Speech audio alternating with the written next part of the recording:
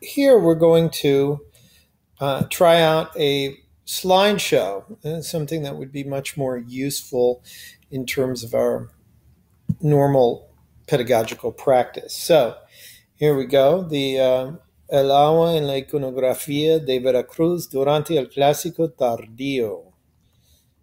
Um, I, I want to start actually by looking at a scene from Las Higueras. And I want to stress that this is a water scene. There are fish. Uh, there's a really interesting figure lying prone. There are two uh, structures.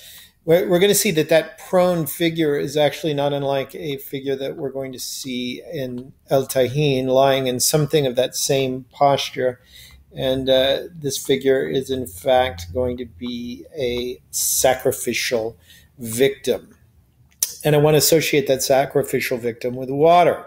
Uh, so here we are. We're going to we're going to talk a little bit about these these prone figures. Uh, they're not exactly identical, but they are interestingly so. Uh, another aspect of that same program at Higueras, of course, is ball court decapitation. And I want to show that, in fact, this decapitation is related in ball courts throughout the region constantly.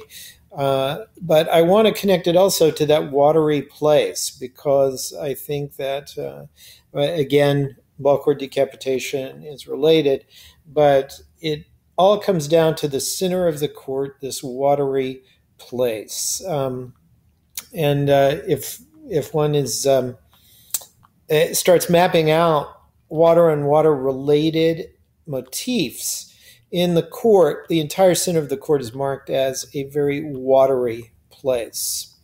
Uh, then I want to, if I can, if I have the time, then I want to relate that to uh, the the Coatepec Itzompan pair in later Nahua imagery.